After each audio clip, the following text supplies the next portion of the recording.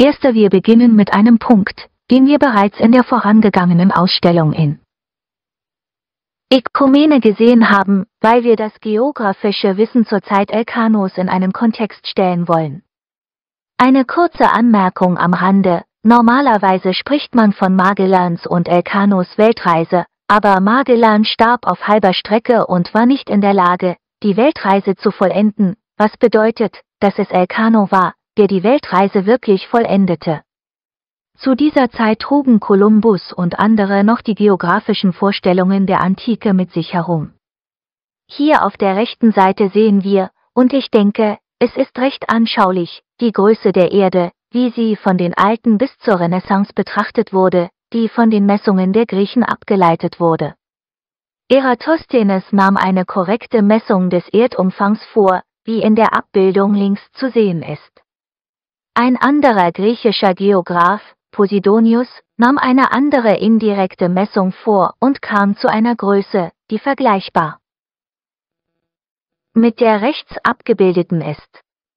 Diese viel kleinere Größe als die tatsächliche ist diejenige, die bis zum heutigen Tag überlebt hat. Das ist der Ausgangspunkt. Die Erde war bekanntlich kugelförmig, kein Zweifel, aber sie war viel größer als man dachte.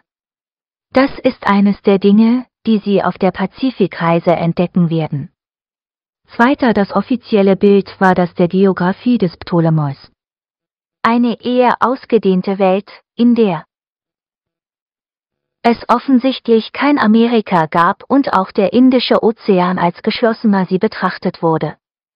Hier sehen Sie ein Faksimile, das wir auch auf dem Ökumenischen Forum ausgestellt hatten, und das die ptolemäische Weltkarte in einem perfekten Faksimile-Manuskript mit goldenen Miniaturen, Pergamentimitationen und so weiter zeigt, das in der Vatikanischen Bibliothek um 1470 aufbewahrt wird. Dies ist die Welt des offiziellen, etwas archaischen geografischen Bildes, das bis zur Zeit von Kolumbus existierte. Es gibt einen wichtigen Meilenstein. Kolumbus kommt in Amerika an, ohne zu wissen, dass er gerade deshalb in Amerika angekommen ist. Seinen Berechnungen zufolge hat er mit dem kleineren Erdumfang als dem auf der Karte des Ptolemäus dargestellten eine Strecke zurückgelegt, aus der er schließen kann, dass er die Küsten Asiens erreicht hat. Deshalb nennt man ihn auch so, weil er nach den indischen Inseln als einem vagen, abstrakten Ort suchte, von dem aus einige der teuersten Produkte der damaligen Zeit, darunter Gewürze, in den Handel gelangten. Wir werden sehen, aber diese erste Weltumsegelung war weder eine Weltumsegelung noch eine Entdeckungs- und Eroberungsreise, sondern einfach eine Reise zur Quelle des Gewürzes, um Zwischenhändler zu vermeiden oder das Monopol der Portugiesen zu stören, wie wir später sehen werden. Dritter es handelt sich um den Brief von Juan de la Cosa, dessen Original sich im Marinemuseum in Madrid befindet. Hier sind die Küsten der iberischen Halbinsel, Europas und Afrikas zu sehen, und es ist die erste, in der Amerika vertreten ist. Es stammt aus dem Jahr 1500 und wir stellen es hier in einen früheren Kontext. Sie zeigt den Golf von Mexiko und die Inseln Kuba, Dominikanische Republik und Haiti. An dieser Stelle ist unklar, was durch die Enden der Karte verläuft, ob sie sich überschneiden oder nicht. Amerika ist erreicht, aber die Enden der Welt sind nicht bekannt, sie glauben sogar, wie Kolumbus, dass die indischen Inseln erreicht sind. Nach dieser Entdeckung beanspruchte der portugiesische König seinen Anteil an all dem, und der Vertrag von Tordesillas wurde unterzeichnet. Im Vertrag von Tordesillas wurde eine Linie 370 Seemeilen westlich des kapverdischen Archipels gezogen, und alles, was östlich dieser Linie verblieb, sollte zu Forschungszwecken Portugal gehören und alles, was westlich verblieb, Spanien. Damals wussten sie nicht, wohin der Antimeridian führt, und es war ihnen auch egal, aber das wird das Problem sein, wenn die Molukken. Vierter Es handelt sich um eine faksimile Replik des Vertrags von Tordesillas, der wie die heutigen Verträge in Form eines Arras-Vertrags abgefasst ist. Es wurden zwei Exemplare angefertigt, eines in portugiesischer Sprache, unterzeichnet mit König Johann von Portugal, und ein weiteres in kastilischer Sprache, Don Fernando und Donna Isabel, und sie wurden mit ihren entsprechenden Bleisiegeln ausgetauscht. Und in diesem Zusammenhang gibt es ein merkwürdiges Zitat, das dem französischen König Coetano zugeschrieben wird. Zeige mir die Klausel in Adams Testament, mit der er die Welt zwischen den Spaniern und den Portugiesen aufteilt. Das heißt, und warum haben sie die Welt aufgeteilt, ohne auf jemanden zu zählen? Nun, nehmen wir an, sie hatten die Unterstützung des damaligen Papstes, der Spanier war und der den Teppich ein wenig gekehrt hat. Doch die beiden iberischen Großmächte beschlossen, die Welt in zwei Hälften zu teilen, wie eine Orange, die zu Erkundungszwecken in zwei Hälften geschnitten wird. Fünfter damit verbunden ist die nach ihrem Autor benannte Cantino-Karte, die um 1502 entstand. Es handelt sich um ein echtes königliches Register, das heißt ein Abbild der bekannten portugiesischen Welt, einschließlich Amerikas, und es ist wichtig, weil es die erste Karte bzw. die früheste bekannte Karte ist, auf der die Linie des Vertrags von Tordesillas eingezeichnet ist. Die ursprüngliche Vereinbarung war etwa 100 Seemeilen westlich, und die Portugiesen, die sicherlich mehr wussten, als in der Geschichte überliefert ist, kannten die Entfernung zu Amerika und sagten, nein, geht nicht weiter in diese Richtung, denn ich möchte etwas von diesen neu entdeckten Gebieten mitnehmen, die praktisch das heutige Brasilien geworden sind. Es ist kein Zufall, dass in Brasilien Portugiesisch gesprochen wird, und all das kommt von hier, aus diesem Gebiet mit portugiesischem Einfluss. Sechster, wir werden einen weiteren wichtigen Schritt tun, den wir bereits in der ökumenischen Ausstellung gesehen haben, nämlich dann, wenn wir erkennen, dass das, was entdeckt wurde, ein neuer Kontinent ist und nicht zu Asien gehört. Um 1503 wurde Amerigo Vespucci's Karte Mundus Novus veröffentlicht, in der er, der behauptet, für die Spanier und Portugiesen gesegelt zu sein, sagt, dass die Länder, die er durchquert hat, die vermeintlichen Indianer nicht die Indianer sein können, da sie eine sehr große Ausdehnung haben, genauso bevölkert sind wie unser Asien, Europa und Afrika. Er sagt, es sei eine neue Welt, und so weiter. Eine gedruckte Version dieses Briefes erreicht den Kartografen, der diese Karte erstellt hat, Martin Waldseemüller. Es handelt sich um eine der bedeutendsten Karten der Geschichte. Es handelt sich um ein Holzschnittwandbild, das heißt mit in Holz geschnitzten Platten, verteilt auf zwölf Blätter. Es gibt nur noch ein einziges Exemplar, obwohl bekannt ist, dass 1000 gedruckte Exemplare angefertigt wurden, und es befindet sich in der Library of Congress. Sie nennen ihn die Geburtsurkunde Amerikas und halten ihn in Ehren. Warum? Weil Waldseemüller bei der Lektüre von Amerikos Berichten fälschlicherweise annahm, dass er derjenige war, der diesen Mundus Novus, diese neue Welt, entdeckt hatte. Er nannte sie in einem Begleittext Amerika, zu Ehren von Amerigo, ihrem berühmten Entdecker. Er nennt diesen neuen Kontinent Amerika, er stellt ihn auf dieser Karte dar, und daher stammt der heutige Name Amerika. Nur dieses Exemplar ist erhalten geblieben, obwohl ein weiteres erscheinen könnte, da es mehrere Exemplare gab. Wichtig, Amerika erscheint zum ersten Mal, getrennt von Asien durch einen noch unbenannten Ozean, auch Japan wird gezeigt. Grafisch markiert sie den Übergang von der antiken zur modernen Geographie. Es handelt sich um die erste Karte mit zwei Hemisphären. Übrigens haben wir in der IGN-Zentrale eine Ausstellung über Karten mit zwei Hemisphären, die hier beginnt. Denn die antike Welt, die des alexandrinischen Kosmographen Claudius Ptolemäus, passt nicht mehr in das traditionelle Modell der mittelalterlichen kreisförmigen Weltkarte. Es gibt also eine andere Hemisphäre, die von Amerigo Vespucci auf der Amerika erscheint. Japan zeigt, wie falsch die Vorstellung von der Größe der Welt noch war, denn es liegt praktisch an der Küste Amerikas, aber dennoch ist dies ein grundlegender Schritt, um zu wissen, wie die Struktur der Welt bereits aussieht. Siebter. Werfen wir einen Blick auf die Hauptakteure dieses Kunststücks, Fernando oder Hernando de Magallanes, Portugiese, der seinem Land viele Jahre lang diente und sogar lahmte und nicht so belohnt wurde, wie er es sich vorstellte, was zu Konflikten mit dem portugiesischen König führte, für die er Spanien seine Dienste anbot und den Plan, die Gewürze zu erreichen, doch wie wir wissen, starb er auf halbem Wege der Reise. Elcano, ein Einwohner von Getaria. Dies ist eine Ansicht von Getaria aus Teixeiras Atlas von 1634. Jeder, der schon einmal dort war, kann die Maus von Getaria, den Hafen und so weiter genau erkennen, und auf der Seite daneben steht Zumaya.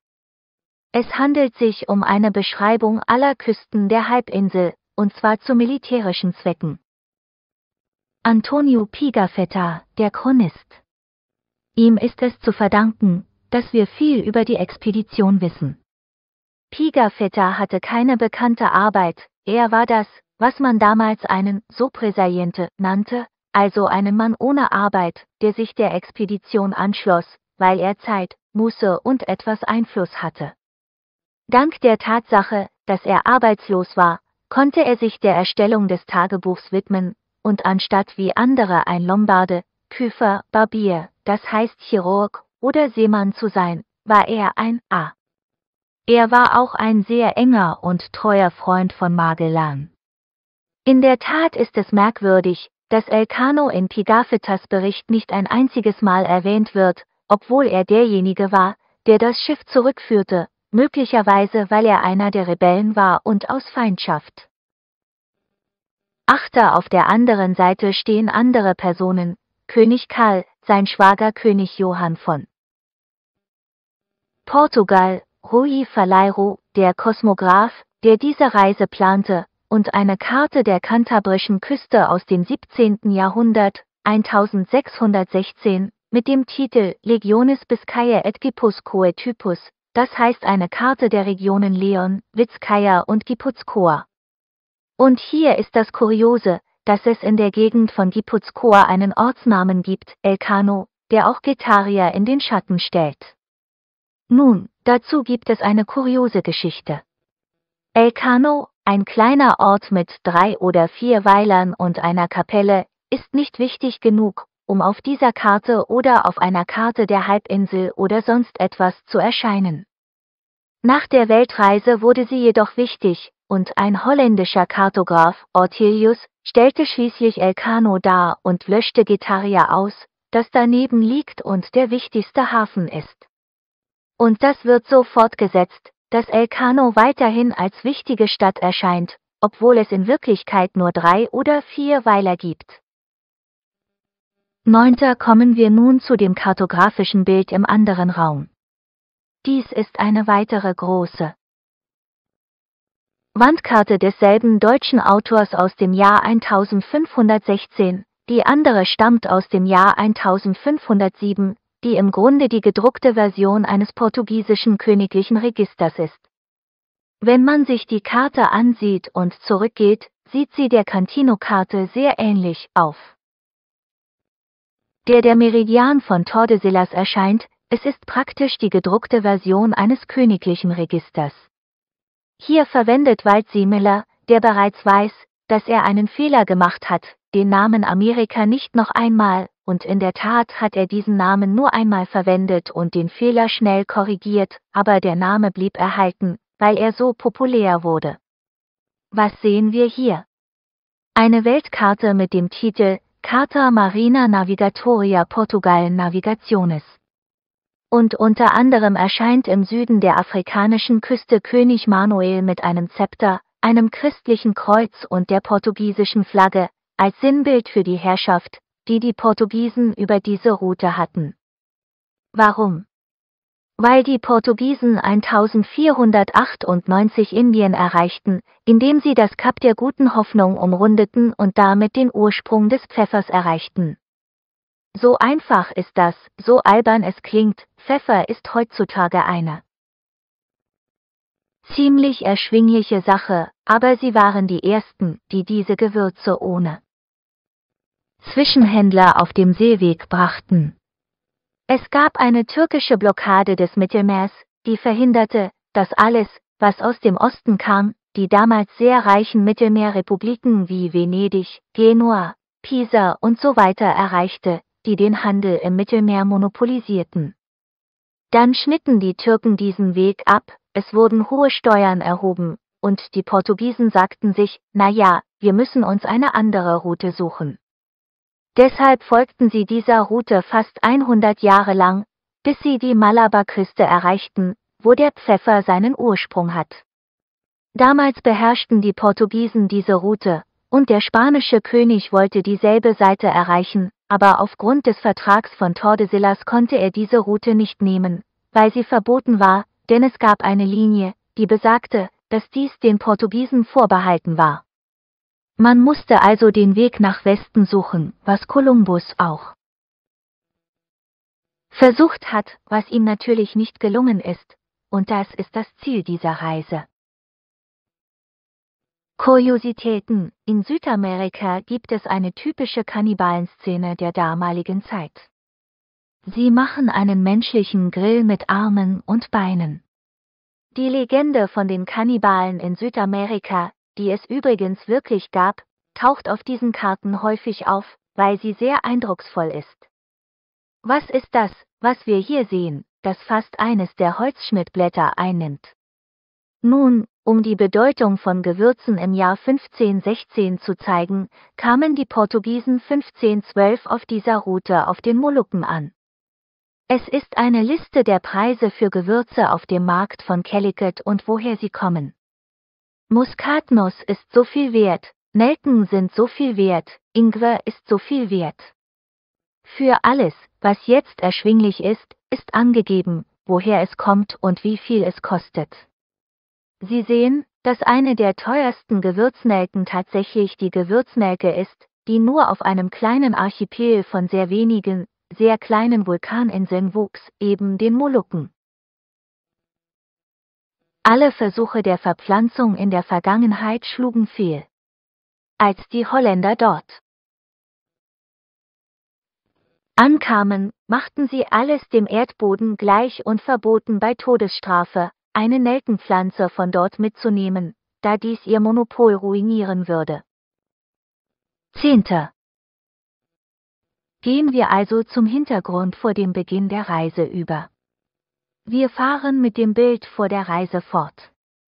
Das hier oben ist eine portugiesische Seekarte des Indischen Ozeans aus dem Jahr 1517, auf der man zuallererst sehen kann, dass die Portugiesen ihn bereits kannten, und sie spiegelt perfekt die Route wider, die die Portugiesen vor der Reise zu den Molukken genommen haben, das heißt sie haben die gesamte afrikanische Küste umfahren, und das jahrelang, um die Küste von Melindre zu erreichen, um über den Indischen Ozean zu springen, und alles, was wir hier sehen, ist mit Ortsnamen beschriftet. Das ist der einzige Teil, den sie kannten, wo die Gewürze herkamen. Und 1512 kommen sie auf den Molukken an und kartieren genau das, was für sie von Interesse ist. Dies war die erste regionale Karte eines großen Gebietes, in dem die Molukken vorkamen. Das war ein sehr großes Staatsgeheimnis. Die nachstehende Karte stammt von einem Sohn dieses Kartografen, Jorge Reine, der sie 1519 kurz vor der Reise anfertigte. Er wurde in Spanien von König Karl angeheuert. Dieses königliche Register ist in zwei Hälften geteilt, das ist die Linie des Vertrags von Tordesillas, mit dem Teil, der zu Spanien gehört, und dem Teil, der zu Portugal gehört, mit den kastilischen und portugiesischen Flaggen.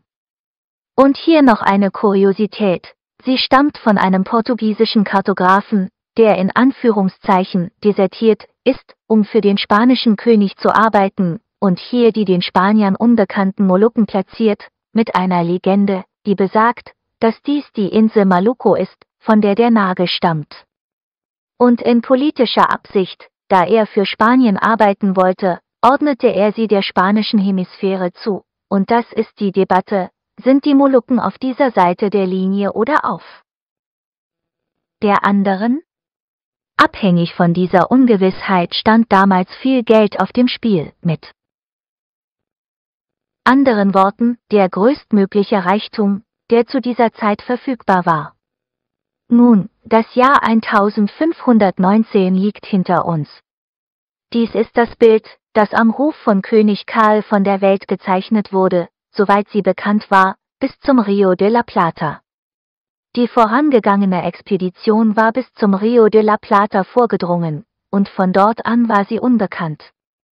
Magellans Ziel, und das ist der Plan, der ihn hierher brachte, war es, den Weg über den amerikanischen Kontinent zu finden, der sozusagen als Hindernis galt, um das Gewürz zu erreichen.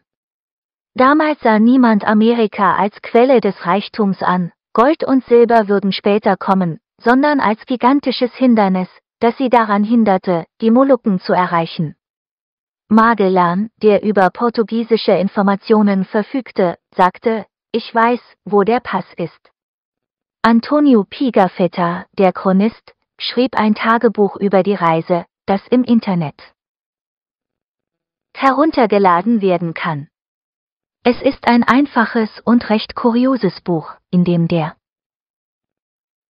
Chronist berichtet, dass Magellan wusste, dass er eine sehr versteckte Meerenge passieren musste, die er auf einer Karte gesehen hatte, die der König von Portugal in seiner Schatzkammer aufbewahrte und die von Martin von Böhmen, einem hervorragenden Kosmographen, angefertigt worden war.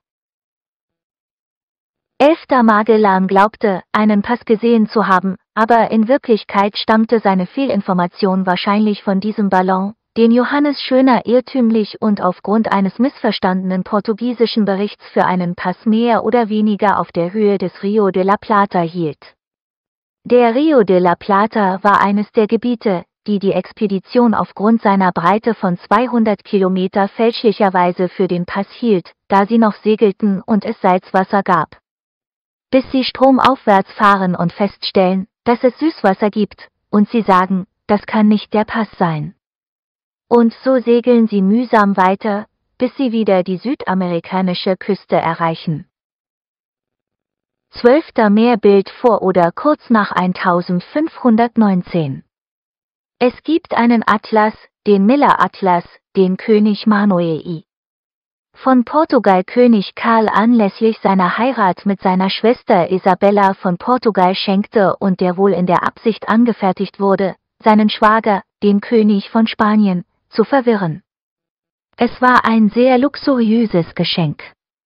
Alle Siegkarten sind sehr korrekt und es gibt nur zwei oder drei, die Informationen enthalten, die in einigen Fällen sogar unsinnig sind. Im Jahr 1519 war dieses Bild der Welt am portugiesischen Hof unmöglich. Denn es handelt sich um eine mittelalterliche Weltkarte, auf der der Indische Ozean tatsächlich als geschlossener Ozean erscheint. Eine Theorie besagt, dass die Karte König Karl davon abhalten sollte, die neue Route zu nehmen, da es nirgendwo eine Durchfahrt gab. Es handelt sich also um eine Karte, die vermutlich in politischer Absicht erstellt wurde.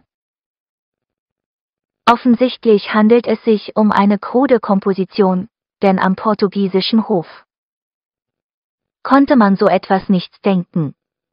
Und hier gibt es ein Zitat nach der Reise, das aber eine Vorstellung von der Rivalität jener Zeit gibt, vom spanischen Botschafter in Portugal, der an den König schreibt, ich habe erfahren, dass bestimmte portugiesische Lotsen den Auftrag hatten und haben und derzeit daran arbeiten, die Navigationskarten, die sie für Indien haben, zu ändern, indem sie eine Menge Straßen abschneiden, so dass der Molucco in ihrem Teil bleiben würde.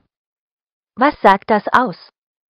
Wir wissen, dass die Portugiesen ihre Siegkarten fälschen, wir wissen, dass sie sie absichtlich mit falschen Informationen filtern, und was sie tun, ist die Segelentfernung zum Maluku so zu verkürzen, dass er auf die portugiesische Seite kommt, und so den Besitz dieser Inseln zu beanspruchen. Das Problem zu dieser Zeit war, dass die geografische Länge, das heißt die Zeitdifferenz, sehr schwer zu messen war, da es bis zum Aufkommen des Chronometers keine Instrumente gab. Es gab also eine Unsicherheitszone von Tausenden von Kilometern, und siehe da, die Molukken lagen in dieser Zone. Niemand wusste also, wie man das anstellen sollte. Später, als die Gewürzflotte dort eintraf, schlossen die beiden Könige von Spanien und Portugal 1529 ein Abkommen. Der spanische König sagte, ich verpfände euch die Molukken, das heißt, ich leihe sie euch vorläufig, bis entschieden ist, wem sie gehören, und verlange dafür 350.000 Dukaten Gold, eine exorbitante Summe. Und, nun ja, der Punkt ist, dass die Molukken eigentlich auf portugiesischer Seite waren, also verkaufte er ihnen etwas, das bereits auf ihrer Seite war und offensichtlich auch nie beansprucht wurde und ihm nie etwas genützt hat. Nicht nur das, die Portugiesen wurden einige Jahrzehnte später von den Holländern vertrieben, was sie ebenfalls aus dem Geschäft warf. 13. Hier sind einige vorbereitende Dokumente aus der Marine. Im Archiv der indischen Inseln werden zahlreiche Dokumente aus dieser Zeit aufbewahrt, darunter auch einige kuriose Exemplare. Zum Beispiel ein Faksimile der Mannschaftsliste, La relación de gente en las naus que su alteza manda a enviar al descubrimiento de la especeria, que por Capitán Mayor Fernando de Magallanes, und dies ist eines der Blätter. Und der Kapitän Hernando de Magallanes erscheint auf dem Schiff Trinidad. Wir haben ihn hier hervorgehoben, weil die Kalligraphie schwierig ist. Elcano und Gaspar de Quesada, einer der Hingerichteten, die wegen der Meuterei in San Julian zum Tode verurteilt wurden, erscheinen ebenfalls. Es gibt eine weitere Liste mit Gehältern, die sich nach der Position der jeweiligen Person richtet. In diesem Fall Juan Sebastian Elcano, wohnhaft in Getaria, Sohn von so und so. Gehalt von X, Gehälter, die halbjährlich und im Voraus eingezogen wurden. Warum? Nun, weil sie nicht dumm waren und die meisten von ihnen, wie sich herausstellte, nicht zurückkehrten oder wussten, dass sie nicht zurückkehren würden. Die Löhne blieben also hier, bei ihren Erben. Von den insgesamt etwa 250 Besatzungsmitgliedern, die Sevilla mit fünf Schiffen verließen, kehrten nur 18 mit der Nau Victoria zurück, und das auch nur mit einem von fünf Schiffen. Hätten sie das gewusst, hätten sich sicher viele nicht gemeldet. Aber das gibt eine Vorstellung von der Schwierigkeit der damaligen Reisen, in drei Jahren starben praktisch alle von ihnen, einige desertierten, andere wurden von den Portugiesen gefangen genommen und kehrten in den folgenden Jahren in Scharen zurück. Es gibt auch die Kapitulationen, den Vertrag zwischen dem König und Hernando de Magellan und seinem Partner Rui Faleiro, der von der Geschichte etwas verdunkelt wurde, der aber der Kosmograph war, der Magellan sagte, nach meinen Berechnungen, die falsch waren, liegen. Die Molukken auf spanischer Seite, also beanspruche sie, gehe mit diesem Plan zum König von Spanien und lass dich von ihm anheuern. Magellan fand in Portugal kein Gehör, er wurde verachtet, obwohl er Portugiese war, er war sehr wütend und bot König Karl seine Dienste an. In der Liste der Kosten für die Armada war alles perfekt aufgelistet, was sie mit sich führten, Waren, Lebensmittel, Lebensmittel, und ein großer Posten waren die Gegenstände, die sie zum Handel mit sich führten. Gewürze, Perlen, Tücher, ich weiß nicht, was, zum Tausch gegen Gewürze oder was immer sie fanden. Und in dieser Hinsicht ist es lustig, dass die Westler gewöhnlich beschuldigt werden, die Indianer zu betrügen, indem sie ihnen Lumpen und Spiegel im Tausch gegen wertvolle Dinge geben. Obwohl es genau umgekehrt war, sie bringen uns ein paar Spiegel, ein paar Messer, die sehr wertvoll sind für ein Ding, das auf Bäumen wächst, das wir überhaupt nicht wollen. Mit anderen Worten, es handelte sich um ein gegenseitiges Konzept. Wer würde dem anderen etwas verkaufen, das für ihn keinen Wert hat, im Austausch für etwas, das einen Wert hat? 14. Die Abfahrtshäfen. Sevilla ist der Ort, an dem seit der Gründung der Casa de Contratación alle Expeditionen vorbereitet werden, da dort das Monopol liegt. Dies ist eine moderne Nachbildung von Sevilla aus dem Jahr 1519, und in der Tat kann man den Guadalquivir, die Triana-Brücke, die Kathedrale, die Werften, die Vororte und so weiter sehen. Und im Guadalquivir ankerten die Schiffe aus dem Indischen Ozean. Von hier aus verließen sie alle durch Monopol. Und hier ist ein Zitat von Pigafetta, am 10. August 2019, dem Tag von San Lorenzo. Die Armada verließ Sevilla, das kein Seehafen, sondern ein Flusshafen ist, und dann ging es 40 bis 50 Kilometer den Guadalquivir entlang, um San Lucar, den Ort der Abfahrt, zu erreichen. 15. Das andere Bild ist eine Ansicht aus dem Jahr 1588 aus einem Album des ersten Städteatlasses, dem Civitatis Orbis Terrarum von Sevilla.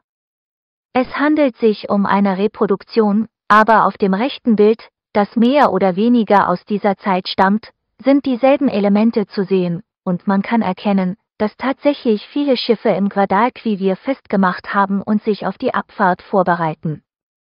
Hier steht der goldene Turm, der auch heute noch steht, hier stand der Kran, mit dem die Waren im Hafen von Las Velas verladen wurden, und das ist eine Ansicht von San Lucar, die auf allen Zeichnungen aus dieser Zeit zu sehen ist. Es gibt eine lokale oder regionale Rivalität zwischen San Lucar und Sevilla, denn beide sagen mit gutem Grund, dass dies der Ort ist, von dem aus die Expedition gestartet ist. In Wirklichkeit ging sie von Sevilla aus, aber es stimmt, dass sie von San Lucar de Barrameda aus in sie stach. Nun, man kann die Schiffe der Gewürzexpedition auf ihrem Weg nach San Lucar de Barrameda sehen. 16. Dies ist eine Karte von Andalusien von Ortelius aus dem Jahr 1579, auf der Sevilla abgebildet ist und der Fluss Guadalquivir bis zum Atlantik führt. Die andere Karte ist die Karte der afrikanischen Küste und der Kanarischen Inseln, ebenfalls von Ortelius, die mehr oder weniger aus der gleichen Zeit stammt, also aus dem Ende des 16. Sie nutzten die Gelegenheit, um Wasser und Lebensmittel zu sammeln, weitere Seeleute anzuheuern, Reparaturen vorzunehmen oder was auch immer. In diesem Fall legten sie einen technischen Zwischenstopp auf Teneriffa ein und brachen nur langsam auf, da sie von Gerüchten erfuhren, dass der portugiesische König die Flotte abfangen wollte, da er wusste, dass es eine Expedition zu den Molukken gab, die er als sein Eigentum betrachtete. Sie warteten also auf Neuigkeiten. 17. Dieser Globus von 1927 zeigt die Meeresströmungen sehr gut. Tatsache ist, dass die Navigation zu dieser Zeit vollständig von der Richtung der Strömungen und Winde abhing. Aufgrund eines physikalischen Effekts, der durch die Erdrotation verursacht wird und als Coriolis-Effekt bezeichnet wird, bewegen sich Meeresströmungen und Luftmassen auf der Nordhalbkugel im Allgemeinen im Uhrzeigersinn und auf der Südhalbkugel gegen den Uhrzeigersinn. Was soll das bedeuten? Wenn wir einen Korken auf die Kanarischen Inseln werfen, wird er sicher von selbst Amerika erreichen. Was nicht so einfach ist, ist, dass er zurückkehrt, denn wir müssen den Rückweg finden. Was taten die Portugiesen, um Indien zu erreichen? Zunächst verbrachten sie fast 100 Jahre damit, nach und nach an der afrikanischen Küste entlang zu fahren. Und bis zum Äquator kamen sie sehr gut voran, da sie von günstigen Winden und Strömungen gezogen wurden. Als sie den Äquator überquerten, hatten sie sie in der entgegengesetzten Richtung. Um 1500 erkannten sie, dass sie, wenn sie hierher, weiter weg von der Küste, fuhren, den Äquator überquerten und sich dieser Strömung anschlossen. Obwohl sie eine viel längere Strecke zurücklegten, kamen sie schneller an. Dies nannten die Portugiesen La Volta do Mar. Auf dem Rückweg machten sie das gleiche in umgekehrter Richtung, umrundeten den Atlantik und passierten die Azoren, die ein regelmäßiger Durchgangsort waren. Das ist eine Kuriosität. Im Falle des Pazifiks war der Rückweg nicht bekannt, und man vermutet ein ähnliches Schema, und in der Tat brauchte es seit der Ankunft der Expedition von Magellan und Elcano auf den Molukken vier oder fünf von den spanischen Königen organisierte Reisen, um zurückkehren zu können, was nicht gelang, weil sie den Rückweg nicht finden konnten. Bis im Jahr 1565 die Expedition von Legazpi und Urdaneta, insbesondere Urdaneta, bei ihrer Rückkehr tatsächlich den Strom fand, der nach Mexiko zurückführte und nach Norden führte. Um Amerika zu durchqueren, wurde die Magellanstraße aufgegeben, da sie sehr gefährlich und unpraktikabel war, und man begann, den Isthmus von Panama zu durchqueren. 18. Nun, bis jetzt haben wir gesehen, dass sie den Atlantik überqueren, Amerika erreichen und lange Zeit, nach und nach, in jeder wichtigen Bucht, die sie sehen, nach einer Durchfahrt suchen. Sie ankern im Rio de la Plata, fahren weiter, und in San Julian bricht eine Meuterei aus. Die Besatzungen haben es satt, dass Magellan ihnen nichts erklärt, und befürchten sogar, dass es einen Verrat auf hoher sie geben wird, und so kommt es, kaum dass sie die Meerenge erreicht haben, zu einer Meuterei. Diese Meuterei wurde von Magellan schnell niedergeschlagen, der viele zum Tode verurteilte, so viele, dass er sie begnadigen musste, denn wenn er alle Verurteilten hingerichtet hätte, hätte er nicht weitermachen können. So begnadigte er viele von ihnen, darunter auch Elcano, der zu den Rebellen gehörte. Und einige andere, die Rädelsführer, ließ er hinrichten und einige von ihnen in Patagonien aussetzen, was einem Todesurteil gleichkam. Es handelt sich um nautische Atlanten mit portugiesischen Informationen. In diesem Fall ist der linke, wie wir sehen können, nach Süden ausgerichtet, die Magellanstraße ist da, sie sind offensichtlich später als die Reise. Das Kuriose daran ist, dass man sieht, wie die Europäer Spiegel, Metallwerkzeuge und einen Hund anbieten, um mit den Eingeborenen zu tauschen, die ihnen Palo de Brasil anbieten, das heißt, ein Holz, aus dem der rote Farbstoff gewonnen wird. Deshalb nennt man es Brasilien, wegen der Farbe der Glut, und das war der Hauptreichtum, den die Portugiesen aus Brasilien holten, was auch nicht viel war. Sie können dort mit exotischen Tieren, kurz gesagt, ein Bild der lokalen Bräuche in diesem reich verzierten Atlas sehen. Und dieser auf der rechten Seite ist ein weiterer Atlas, ebenfalls von der amerikanischen Küste, bis zur Magellanstraße. Und hier sehen wir kuriose Szenen, wie die Legende der patagonischen Riesen, die auf dieser Reise entstanden ist. Pigafetta und andere berichten, dass sie in Patagonien auf Riesen gestoßen sind, die sie Patagones nannten, nach Berichten über eine mythische Figur eines Riesen dieses Namens. Es stimmt, dass die Indianer an diesem Ort ziemlich groß sind und es auch damals gewesen sein müssen. Und natürlich hielten die damaligen Europäer, die wahrscheinlich 1,50, 1,60 m groß waren, einen Mann von 1,90, 2 m für einen Riesen, wenn sie ihm begegneten. Tatsächlich hat das niemand je bestritten, obwohl keine Überreste von Riesen gefunden wurden. Offensichtlich waren sie keine Riesen, sondern sehr große Menschen.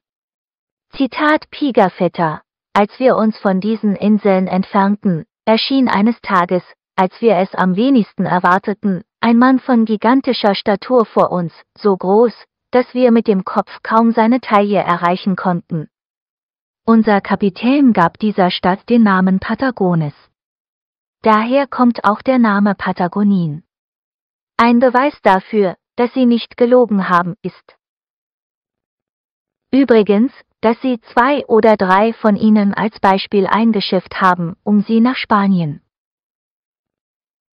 zurückzubringen und sie dort vorzuführen, wobei sie so viel Pech hatten, dass die Sterblichkeitsrate offensichtlich sehr hoch war und die Patagonie, die offensichtlich nicht so sehr an ein Schiff gewöhnt waren, bei der kleinsten Veränderung auf einer solchen Reise als erste starben. Mit anderen Worten, Keiner von ihnen kam zurück, um herauszufinden, ob sie tatsächlich Riesen waren oder nicht. Nun, zurück in den anderen Raum. 19. Schließlich erreichten sie die Magellanstraße, wo es zu einer Desertion kam. Kurz vor Erreichen der Meerenge stürzte eines der fünf Schiffe, die Santiago, ab, und es gelang ihnen, die Waren zu retten und so weiter. In der Meerenge, die sehr verwinkelt ist, schickt Magellan die Schiffe durch die Gabelungen, um eine Durchfahrt zu finden, und eines der Schiffe, die San Antonio, kehrt nach Spanien zurück. Er trifft vor den anderen ein und erzählt die Teilgeschichte, dass Magellan ein Tyrann ist, dass er die Vertreter des Königs getötet hat. Magellans Familie fällt in Ungnade. Seine Frau stirbt ruiniert, er hat einen Sohn, der ebenfalls stirbt, frisch geboren, und so weiter. Ohne zu wissen,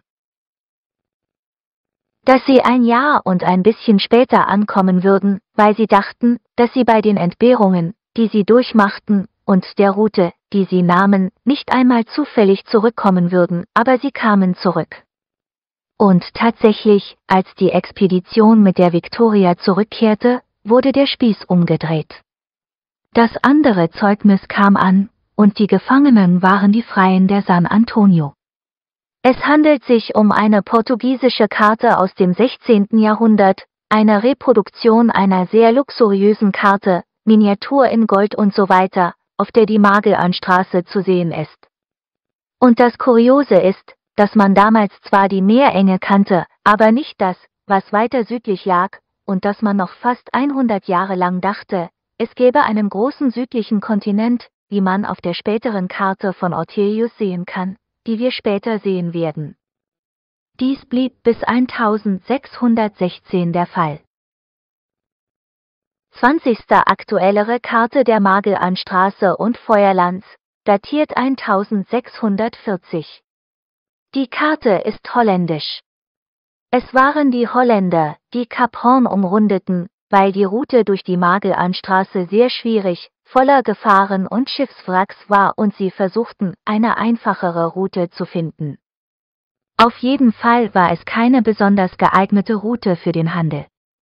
Als die Spanier die Tornaviae entdeckten, erreichten sie die Philippinen, kehrten nach Mexiko zurück, überquerten den Isthmus von Panama auf dem Landweg mit den Waren und setzten ihre Reise über den Atlantik fort, anstatt durch die Magellanstraße zurückzukehren. 21. Hier ein Zitat von Pigafetta. Am Mittwoch, dem 28. November 1520, lösten wir uns von dieser Meerenge und tauchten in das Meer ein, dem wir sofort den Namen Pazifik gaben. In diesen drei Monaten und 20 Tagen legten wir fast 4000 Seemeilen des Pazifiks auf einer einzigen Route zurück, und das in der Tat sehr friedlich, denn in dieser langen Zeit begegneten wir nicht einmal einer Böe. Sie nannten den Pazifischen Ozean fälschlicherweise Pazifischer Ozean, denn zu ihrem Pech trafen sie weder auf Böen noch auf Winde, und tatsächlich gab es bei der Überquerung des Pazifiks aufgrund der äquatorialen Flauten eine erhebliche Sterblichkeit. Der Pazifische Ozean ist, wie wir wissen, nicht so friedlich, wie sie ihn hier darstellen, aber hier wurde er als solcher getauft. Und genau diese Karte Amerikas von Munster aus dem Jahr 1540 ist eine der ersten, die ihn als Mare Pacificum bezeichnet. Zuvor hatte es den Namen Südsee. Den Nunes de Balbo 1513 vom Isthmus von Panama aus gesichtet hatte. Weitere Kuriositäten sind die Zeichnung eines Schiffes, der Victoria, ein weiteres kannibalisches Grillfest, das ein häufiges Motiv ist. Wie auf einer früheren Karte, auf der eine Person über einem Feuer gegrillt wurde, die auf einen Stock aufgespießt war und die sie herumwirbelten, um sie zu essen. 22. Diese Karte ist eine sehr typische, ikonografische Karte von Expeditionen. Es handelt sich um die erste Karte des Pazifiks aus dem Jahr 1589 von dem Kartografen Ortelius. Hier, im Süden, heißt es Tierra Austral oder Magellanisches Land, noch nicht bekannt. Und dies ist eine Gravur des Schiffes Victoria, auf der steht prima ego villivosis ambive cursivus orbem. Es handelt sich um ein berühmt gewordenes Gedicht, in dem es mehr oder weniger heißt, ich war der Erste, der die Welt unter Segeln umsegelt hat, das Schiff, von dem Victoria sprechen soll, gefahren unter deinem Kapitän, Magellan, durch eine neue Meerenge. Ich habe die Welt umsegelt und werde deshalb zu Recht Victoria genannt. Die Segel sind meine Flügel, mein Lohn, mein Ruhm. Mein Kampf ist mit dem Meer. Dies ist die Gravur, die wahrscheinlich von jemandem gemacht wurde, der noch nie auf einem Boot war, weil die Segel in den Wind geblasen werden und die Wimpel in die entgegengesetzte Richtung gehen. Wenn der Wind die Segel vorwärts treibt, sollten auch die Wimpel vorwärts gehen. Natürlich musste er das nicht wissen, denn er war ein Zeichner, ein Graveur. 23. Weltkarte mit dem Bild nach der Reise, ebenfalls von Munster, auf dem die Magellanstraße zu sehen ist und wo sie eine Nordwestpassage vermuteten. Tatsächlich heißt es für den Norden Amerikas, durch diese Meerenge öffnet sich ein Weg zu den Molukken. Eine solche Nordwestpassage gab es nicht. Kuriositäten, der Pazifik und die Tatsache, dass Temistitan, das heißt Mexiko, neben Zipango liegt, das von Marco Polo Japan genannt wurde. Warum? Weil dies das Bild der kommerziellen Karten ist, das mit jahrzehntelanger Verspätung die breite Öffentlichkeit erreicht. Das korrekte Bild und die Abmessungen wurden vor Gericht behandelt, sie waren streng geheim, und speziell in Portugal stand es damals unter Todesstrafe, diese Informationen weiterzugeben, und offiziell drückte man ein Auge zu. Dies ist das Bild, das verzerrt ankam, mit noch kleinen Dimensionen der Welt, wo Asien auf Amerika trifft. 24. Wir bewegen uns weiter vorwärts. Bevor die Expedition die Molukken erreichte, gelangte sie zunächst zu den Marianen und dann zu den Philippinen. Und Magellan stirbt in einer sehr törichten Begegnung mit Indianern, die nicht notwendig war, aber er wollte eine sehr ungleiche Machtdemonstration machen. Er verließ sich auf seine Artillerie, von der die anderen wussten und die sie fürchteten, und stellte sich einer Gruppe von Indianern entgegen, die zahlenmäßig weit unterlegen waren und ihn dort töteten. Dann wird die Expedition abgebrochen, kurz bevor sie die Molukken erreicht, was ihr großer Plan und ihre große Reise war. Er starb kurz zuvor, und wie ein anderer Chronist, Maximilian Transilvano, ein späterer Chronist, der nicht an der Reise teilnahm, sagt, Acht Monate nach Magellans Tod entdeckten sie im November 1521 die Molukken, wo sich die Quelle der Gewürze befand, die sie so sehr begehrten. Nach Magellans Tod kommt der Verrat von Cebu, wo ein lokaler Häuptling sie alle zu einem Abendessen einlädt, ihnen eine Falle stellt und 26 von ihnen ermordet, alle Führer der Expedition. Sie haben keine Leute, um die drei verbleibenden Schiffe zu führen, und beschließen, eines von ihnen, die Konzeption, zu verbrennen, die ebenfalls von der Broma befallen war, einer xylophagen Molluske, die Holz zersetzt. So verbrennen sie es und es bleiben zwei Schiffe übrig, die Tidore erreichen. 25. Danach verbrachten sie mehrere Monate mit der Navigation durch das Insellabyrinth. Die Molukken wussten nicht, wo sie sich befanden, so sehr, dass sie am Ende buchstäblich einheimische Piloten entführten und ihnen sagten, bring mich zu den Molukken, ja oder ja. Zu den Gewürzinseln mit Gewalt, und sie kamen auf den Molukken an, wo sie nach dieser Nelke suchten. Gewürznelken waren zusammen mit Pfeffer, Zimt, Muskatnuss und Ingwer eine sehr teure Ware. Gewürznelken wurden nur auf fünf sehr kleinen Inseln produziert, die am anderen Ende der Welt lagen und unbekannt waren, nämlich auf den Molukken, und selbst wenn man wusste, wo sie lagen, waren sie schwer zu finden. Und die Muskatnuss wuchs ein paar hundert Kilometer entfernt auf einer anderen kleinen Inselgruppe namens Banda. Nirgendwo sonst war sie eingebürgert, und das blieb sie auch mehrere Jahrhunderte lang, bis es einem französischen Botaniker gelang, einige Samen und Pflanzen zu stehlen und sie auf der Insel Mauritius anzubauen. seitdem ist sie zu erschwinglichen Preisen in Supermärkten erhältlich. Nun, dies sind Beispiele für das, wonach Sie gesucht haben. Die Gewürznelken haben einen sehr starken Geruch, wenn Sie genauer hinsehen. All diese Dinge kamen in gutem Zustand